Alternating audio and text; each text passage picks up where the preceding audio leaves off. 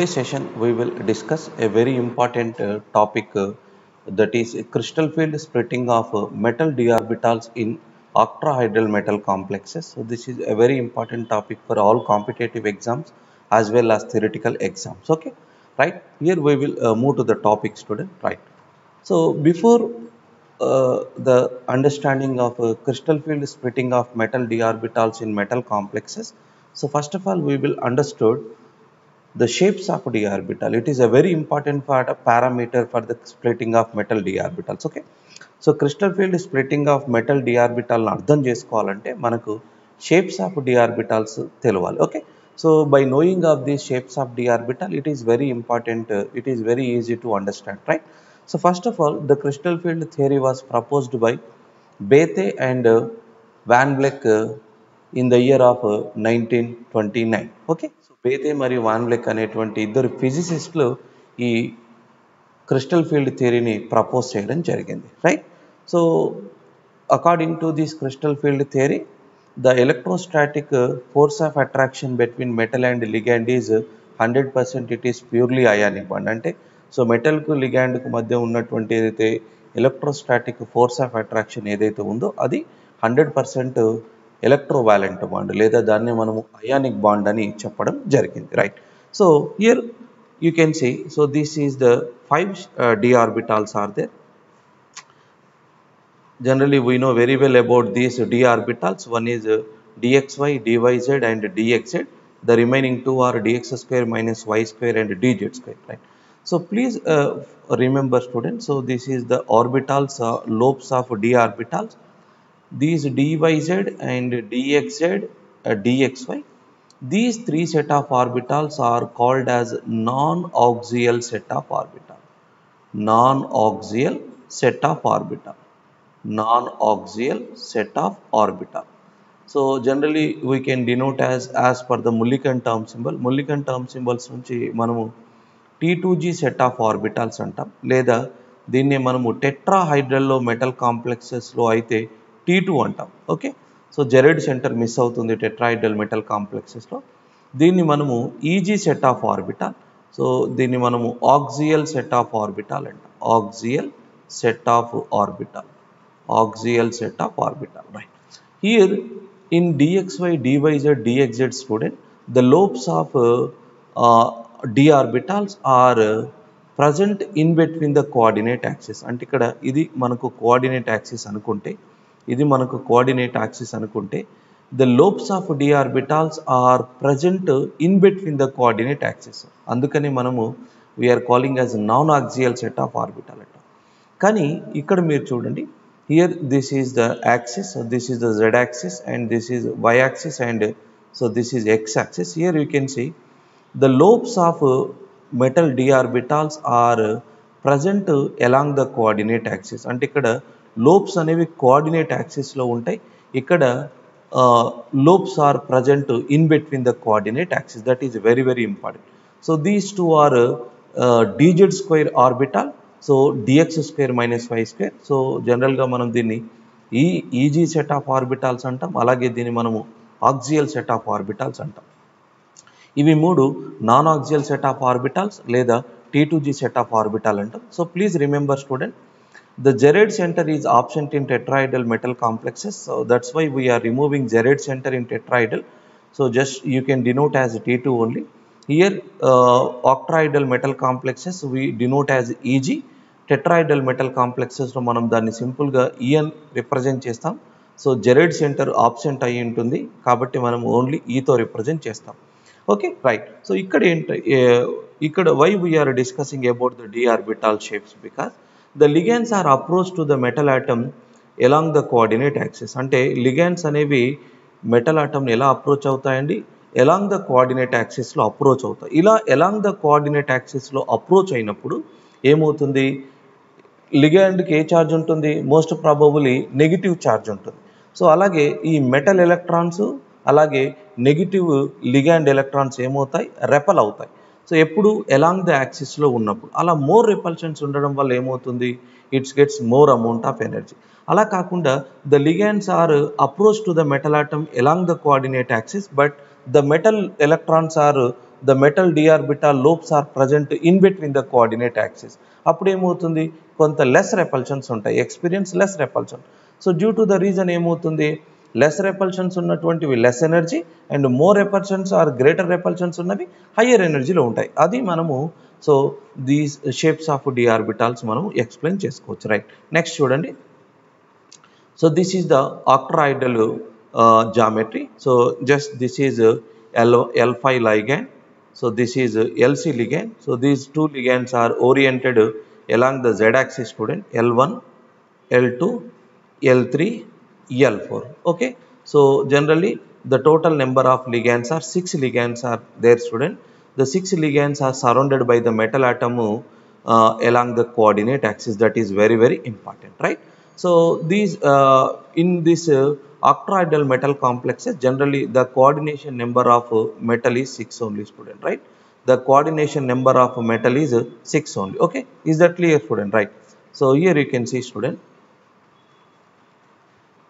these are the dxy dyz and dxz dx square minus y square dz square. So these are the uh, five set of d orbitals. So these are degenerated d orbital student right?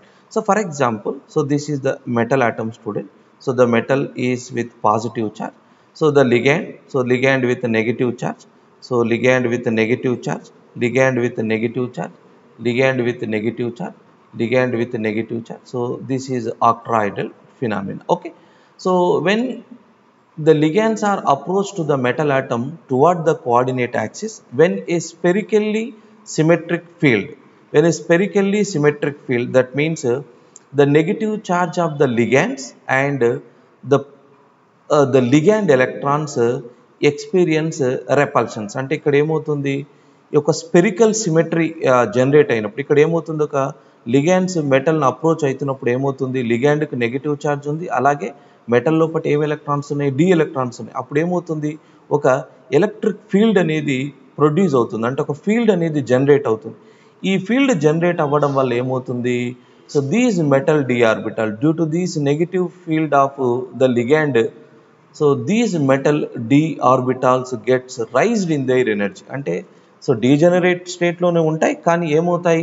So they can be placed in to the higher energy state than before the original original స్టేట్లో కంటే కొంత high ఎనర్జీలో ఉంటుంది ఎప్పుడు the spherically symmetric field around the central metal ion so this is a hypothetical situation state ఓకేనా so this is a hypothetical situation state so after the ligands are approach to the metal atom so then the degeneracy of uh, metal d orbitals are lifted here you can see so the degeneracy of metal d orbitals are lifted right? So these five set of d orbitals are splits into two different energy levels. One is dxy dyz dxz so this is uh, t2g set of orbital okay? Right so it gets a minus 0.4 delta o amount of energy. So this is a energy barrier between the higher and lower student. So generally we can denote as delta O. So that means uh, the crystal field is splitting of uh, octahedral metal complexes, right? Here you can see, so this is uh, dx square minus y square and dz square. These orbitals are oriented uh, above the uh, greater than the uh, T2g set of orbitals. So this is EG set of orbitals. So why the EG set of orbitals are experience more repulsions? Because here you can see the ligands of uh, z-axis and uh, the ligands of uh, x comma y are uh, approach to the metal atom toward the coordinate అంటే ఇక్కడ ligands ఎలా approach అవుతున్నాయండి? Along the coordinate axis తోటి approach అవుతున్నాయి. So ఎప్పుడైతే ligands along the coordinate యాక్సిస్తో approach అయినప్పుడు ఇక్కడ లిగాండ్ ఎలక్ట్రాన్స్ మెటల్ ఎలక్ట్రాన్స్ ఏమవుతాయి? Experience more repulsion. So therefore those metal d orbitals are oriented along the coordinate axis. So these metal d orbital experience more repulsions with the incoming ligands. So that's why they can get more amount of energy. So that is plus 0.6 delta or so we can denote as minus 3 by 5 delta. Okay. This is minus 2 by 5 delta. Okay. So this is the uh, EG set of orbital. The energy difference between T2G set of orbital and EG set of orbital we can call it as a delta delta O so that means ఏమంటారండి? So ఈ higher energy lower energy మధ్య ఉన్నటువంటి ఏదైతే gap ఉందో ఆ గ్యాప్ని మనము crystal field splitting in metal d orbitals of octahedral metal complexes అంటాం. ఇది జనరల్గా crystal field splitting okay So, ipudu CFSE value manam ikkada calculate chestam ante. So, CFSE is equal to nothing but student. So, that is minus 0.4 into T2G electrons plus 0.6 into EG electrons. 0.6 into EG electron. So, this is the formula for the calculation of CFSE. Okay. So, the, generally the examples for this metal complex that is FeCN6 to the power of minus 4 FeCl6 to the power of minus 3 and CONH3 taken 6 CONH3 taken 6 to the power of plus 2 or plus 3 so these type of metal complex right? So and one more thing important student. If the ligands are strong field ligand so generally the splitting between the metal d orbital the splitting magnitude is very high when the uh, ligand the strong field ligands are surrounded by the metal atom. If the ligands are uh, occupied the ligands are uh, present uh, uh, the uh, the, lig- the ligands which are weak field so the weak field ligands are surrounded by the metal atom so generally the splitting magnitude value will be very less. So so please keep in mind student if it is a strong field ligand so the splitting magnitude value will be more. If it is a weak field ligand the splitting magnitude value will be very less. Clear student right? So this is the crystal field splitting of metal d orbitals in octahedral metal complexes right here? In octahedral metal complexes um, the central transition metal the orbital splits into the different energy levels. Already we have discussed. That is the bottom three energy levels are named as dxy dxz and dyz so this is t2g set and the two upper energy levels are named as named as dx square minus y square and dz square dx square minus y square and dz square so this is eg set of orbital so the splitting is because of the electrostatic interaction between the electrons of the ligand and the lobes of the d orbital in an octahedral. The electrons are attracted to the axis. Any orbital that has a lobe on the axis moves a higher energy. అంటే ఇక్కడ ఏంటి a metal d orbital lobes అయితే along the axis ఉంటాయో అవి experience more repulsions with the ligand electrons so they can be uh, placed in the higher energy level so this means uh, that in the octahedral the energy of uh, eg orbital that is uh, higher uh, plus 0.6 delta while t2g set of orbital is uh, minus 0.4 delta okay అలాగే 1 delta is equal to uh, 10 dq student 1 delta is equal to 10 dq okay? So this is means ఏంటి ఇక్కడ? T two G set of orbital lobes ఎలా ఉంటాయి? In between the coordinate యాక్సిస్లో ఉంటాయి. So అలా in between coordinate యాక్సిస్లో ఉండడం వల్ల ఏమవుతుంది? Experience less repulsions with the incoming ligand so generally they have been placed in the lower energy level clear student so this is the crystal field splitting of metal d orbitals in octahedral metal complexes. Okay? Right. Thank you.